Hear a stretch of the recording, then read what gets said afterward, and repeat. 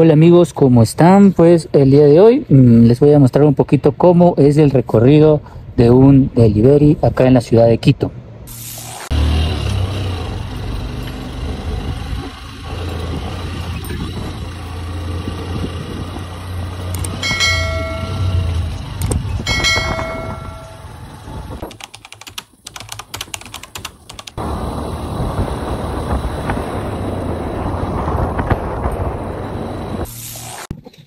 Comenzamos este video lo que es en el norte de Quito y nos vamos a ir lo que es hasta la Mena 2 en un recorrido que nos va a pagar 4.91 y bueno, vamos a ver qué tal nos va. Chao.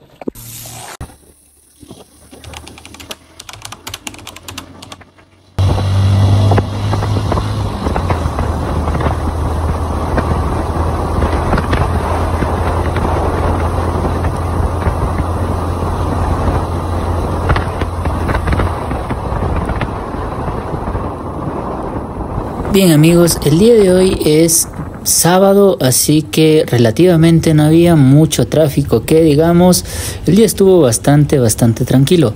Me salió una carrera desde la Shiris, ir a dejar lo que es hasta la Mena 2, ¿sí? Eh, algo que siempre les recomiendo las personas que hacen delivery, sobre todo en la aplicación de Uber, ya que Uber hace lo que es Uber Encargo y Uber Flash, eh, y son lugares bastante lejanos. Eh, les recomiendo que pregunten una vez que ustedes cojan el pedido, pregunten en qué parte es, si es que no conocen bien el lugar que sale en la aplicación y una vez que ellos les digan el lugar, pues ustedes ven si es que es peligroso, no es tan peligroso, pueden ir o no pueden ir. Entonces, justamente eso es lo que hice yo. Eh, llegué, pedí lo que es el, el encargo. Era uno, un documento pequeño y pues era lo que es en la MENA 2, eh, la dirección, no era, no era arriba que digamos, bueno, la MENA 2 no es tan peligroso que digamos, pero sí hay sus lugares que son un poquito densos. Así que antes de eso pues preguntar y ahora sí pues irnos al lugar.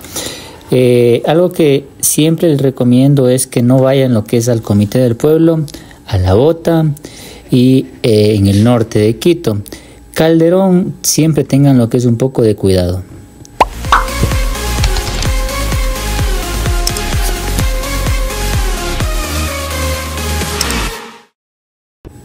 Acá estamos lo que es llegando lo que es al bosque. Aquí cogemos la intervención para la occidental y, listo, nos vamos toda la mariscal, pasamos por San Roque y todo eso, ¿ok?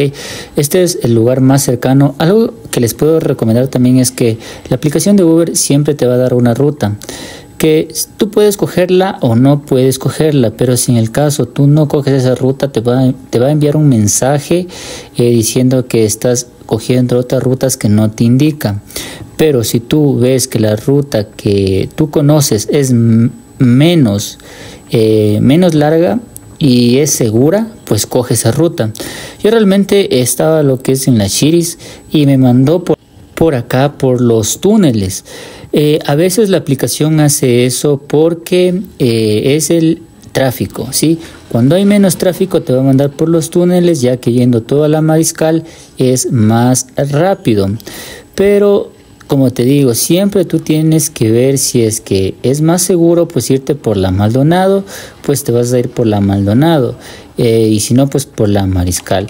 En este caso, como eran las 2 de la tarde, prácticamente eh, podría decirse que la mariscal es un poco segura y un poco más rápido, pero sin embargo ustedes siempre traten de, coger las vías más seguras eh, y no va a pasar nada relativamente en lo que es la aplicación de Uber, ¿ok?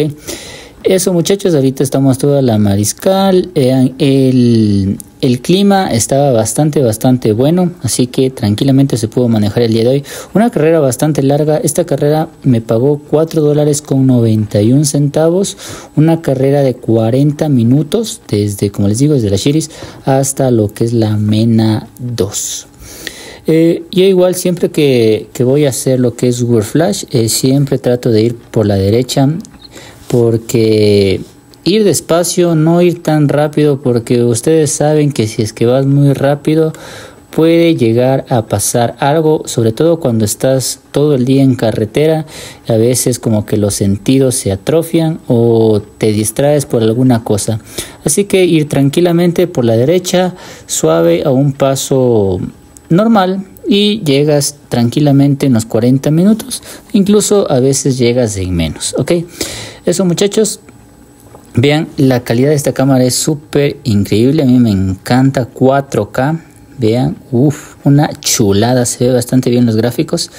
Y bueno, el día de hoy quería ver si es que de pronto alguien se me cruzaba porque sí hay muchachos, yo no sé los carros por qué tienen las direccionales y no las usan. O sea, las personas que están manejando los carros nunca utilizan las direccionales. Yo no entiendo por qué. Eh, pero bueno, eso quería grabar el día de hoy, pero, pero, no se dio, así que ni modo, había, había muy pocos carros. Pero como les digo, esta, esta carrera que hice quería mostrarles porque es una ruta un poco, podríamos decirla, un poco densa, un poco peligrosa. Ir desde lo que es la Chiris y pasar toda la Mariscal es un poco, un poco peligrosa porque pasas por los túneles de San Juan, pasas por los túneles de San Roque, pasas obviamente por San Roque, pasas por la plaza de San Diego, el cementerio de San Diego, todo eso, y vas a caer lo que es a la Villa Flora, mira, Miraflores y y por ahí sigues toda la Mariscal, Michelena y hasta llegar lo que es a la Mena 2, que es una parte un poco densa, podríamos decirlo, ¿ok? En el día pueden coger esta ruta, en la noche siempre tengan cuidado de coger esta ruta ya que en la noche es un poco peligroso, pero no tan peligroso como les estaba diciendo los dos barrios que en el norte son el Comité del Pueblo y la Bota y en el sur, muchachos, tengan mucho cuidado en hacer rutas en lo que es Ciudad de Ibarra, en lo que es Guamaní Alto, ¿sí? Esas partes tengan cuidado porque ahí realmente te sacan lo que es revólver, pistolas, así que pilas en eso. Bueno, aquí ya estamos llegando a lo que es a los túneles de San Juan. Siempre en esta parte de aquí se hace un poco de tráfico, pero como vamos en moto es un poco fácil pues ir esquivando los carros. Eso sí, ir, ir filtrando, sí les recomiendo que lo hagan cuando los carros están en poca velocidad, ya que si lo hacen en mucha velocidad a veces no tienes esa, esa velocidad para frenar o esquivar. Eh, bueno, como ustedes saben, los túneles siempre se hace lo que es un tráfico y cuando se hace tráfico en los túneles es que algo pasa adelante. Entonces lo más recomendable aquí es coger el celular, guardar el celular y una vez guardado el celular pues ya es un poco más tranquilo y puedes manejar tranquilamente por los túneles y pasar por San Roque. ¿Por qué les digo esto? Porque cuando se hace tráfico y estás ah, ya llegando a lo que es a los túneles de San Roque, ahí los choros saltan de ya sea de la parada de Ecovía o del sí la parada no la parada del trole eh, saltan del puente que está en la parte de ahí nomás, entonces saltan o están por ahí cerca y te van arranchando lo que es el celular. Y obviamente tú como estás en una moto no vas a poder alcanzarlos ya que se van a, meter al trole y van a saltar y se van a ir lo que es saltejar. Entonces eso muchachos tengan mucho cuidado cuando hay tráfico en estas partes de aquí de, los túneles. Eh, siempre traten de ir lo más rápido posible, o sea, me refiero a que no paren, no estén parando, no den papaya, ¿sí? Eso es una recomendación muy, muy buena. Y bueno, si es que alguien les quiere robar, eh, sobre todo cuando es con armas, eh, tranquilos muchachos, siempre manténganse tranquilos, simplemente visualicen lo que es qué cosas pueden hacer, ya sea eh, pararse y y dejar que les roben. En ese caso, pues tranquilos eh, y, o si no, pues si es que tienen la oportunidad de acelerar y, huir, pues es una recomendación muy buena, ya que ustedes saben que una moto eh, o un carro, si es que están haciendo Uber carro, pues va a costar dinero. Pero siempre tengan cuidado. Igualmente una recomendación que les puedo dar es que no vayan a lugares que sean muy pequeños donde un carro o una moto entre muy justo, ya que en estos lugares que son cerrados los choros se, se están ahí esperándote a que tú llegues y poder robarte. Entonces miren, estos son los túneles de, San Roque y en estas partes saben estar los choros a los lados. Cuando hay mucho tráfico y tú estás parado te van robando. Entonces siempre tener cuidado en eso. Eso muchachos, eh, las vías siempre eh, traten de coger las vías que son más grandes o más anchas, ¿sí?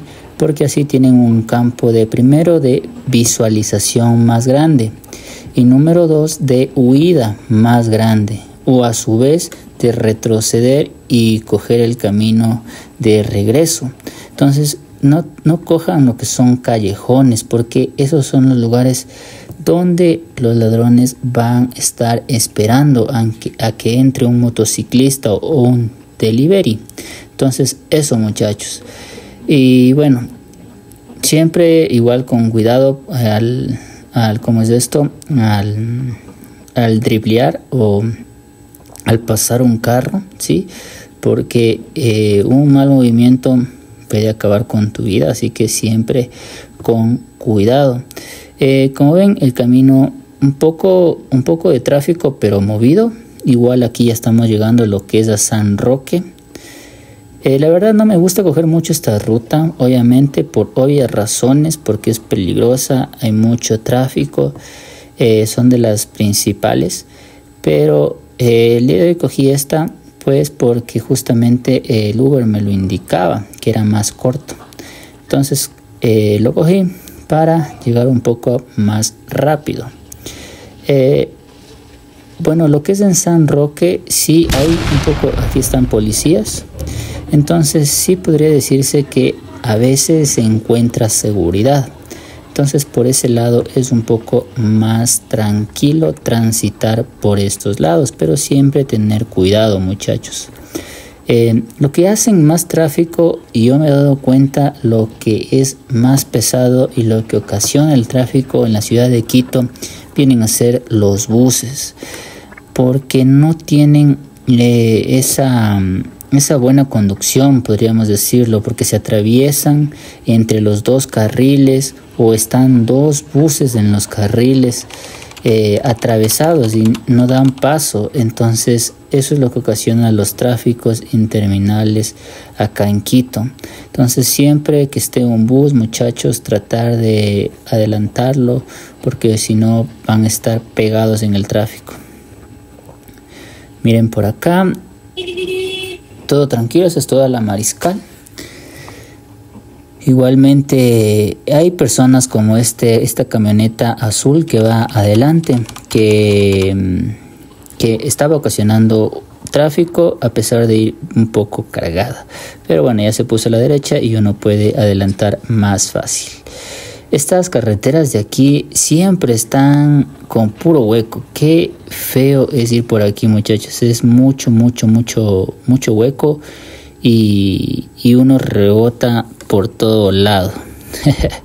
Pero bueno, eh, acá igualmente algo que les puedo recomendar es que si ustedes ven mucho tráfico, tienen que frenar a, digamos, unos 20 metros atrás porque eso te da una una apertura, una forma para tú, digamos, si es que en el caso están robando adelante, entonces al tú parquearte a unos 20 metros te da esa, ese percance, esa distancia como para tú huir, alejar o retroceder.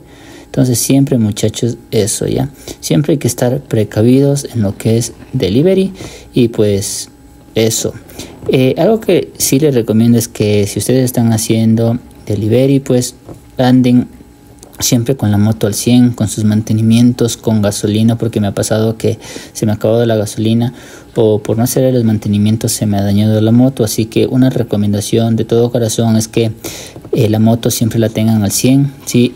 Sé que va a pasar cosas que a veces no están en nuestras manos, como por ejemplo a mí lo que me, me, está pasando es esto del embrague, que se me rompe el cable de embrague. Entonces lo que ahora estoy haciendo es llevar un cable de embrague de repuesto, llevo las llaves y en el caso me llega a pasar de nuevo, ya le cambio. Entonces eso es una cosa que ya está fuera de nuestro, de nuestro, de nuestro poder, podríamos decirlo así. Pero eh, lo demás, mantenimientos de gasolina y todo eso, siempre traerle, tratar de tenerle la moto al 100, porque al sí, en sí esto te está dando de comer. Bueno, ahorita sí, ya estamos en un lugar un poco más fresco, ponemos otra vez a celular, ponemos la ruta y vemos a cuánto tiempo estamos. Eh, estoy lo que es a, a 15 minutitos, ya estamos llegando. Así que tranquilamente, esta parte de aquí, bueno, yo el sur realmente muchachos yo lo conozco muy bien. O sea, yo me sé la mayoría de calles del sur de Quito, me las sé. E igualmente cuando son callejones y cosas así, pues sí trato de no meterme cuando ya mismo toca meterse, eh, siempre llamar al cliente antes, mire, estoy acá, ta, ta, ta, y así el cliente te puede estar pendiente en el caso de que sea en un callejón la entrega. Pero si no, pues muchachos, no cojan los callejones, una recomendación muy, muy buena, ¿ok? Eh, miren cómo están las calles súper, súper em, libres, entonces tranquilamente uno puede eh, hacer lo que es nuestros nuestras entregas bastante bastante bien sí eh, vean todo esto esto ya viene a ser lo que es el sector de la todo lo que es la Villaflora sí viene a ser esto de acá. Y todo tranquilo la verdad es que hoy estuvo un poco tranquilo no hubo nada nada de novedad. Entonces por ese lado, bien, pudimos trabajar tranquilos y súper bien. Estos camiones, como este de acá, siempre se van a poner lo que es a la izquierda. No sé por qué, pero siempre se ponen a la izquierda y hacen un tráfico. Pero bueno, eh, los semáforos, los semáforos en lo que es en el sur de Quito hay muchos eh, perdón, hay pocos foto, fotomultas, digamos, cuando están en los semáforos y están las camaritas y te hacen esas multas. Hay muy pocas, la verdad, pero siempre tratar de respetar, porque a veces uno no sabe en qué lugar están esas camaritas y te pueden llegar a hacer una multa por, por estar eh, pisando el paso cebra o por pasarte lo que es el semáforo rojo. Así que tengan mucho cuidado lo que es en el, sur de Quito. Eh, hay muy pocos, pero sí hay, sí hay. Eh, bueno, vamos a seguir. Esta carrera 491 eh, ustedes dirán, pero vale la pena. La verdad, a mí sí, sí me vale la pena porque son 40 minutos, son casi 5 dólares. Eh, ¿Cuánto? Eh, yo pongo 3 dólares todo el día de gasolina, entonces ahí tengo ya una ganancia muy buena. Entonces en ese tipo de, carreras que son de Uber Flash, sobre todo. Eh, entonces, hay personas que dicen que el Uber Flash eh, paga muy poco. Sí, es verdad, hay carreras que te pagan una, una miseria realmente, pero hay unas carreras que sí te convienen, como esta de acá. Entonces, tranquilamente tú la puedes coger. Bueno, aquí ya estoy llegando y listo. Le voy a entregar. Buenas tardes. Es Henry.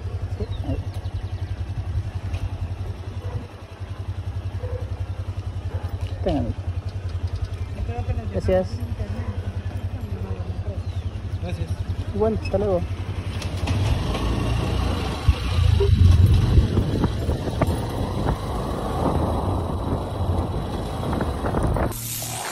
Y ahí les enfoco 4.91 es lo que nos pagó para que ustedes vean. Chao.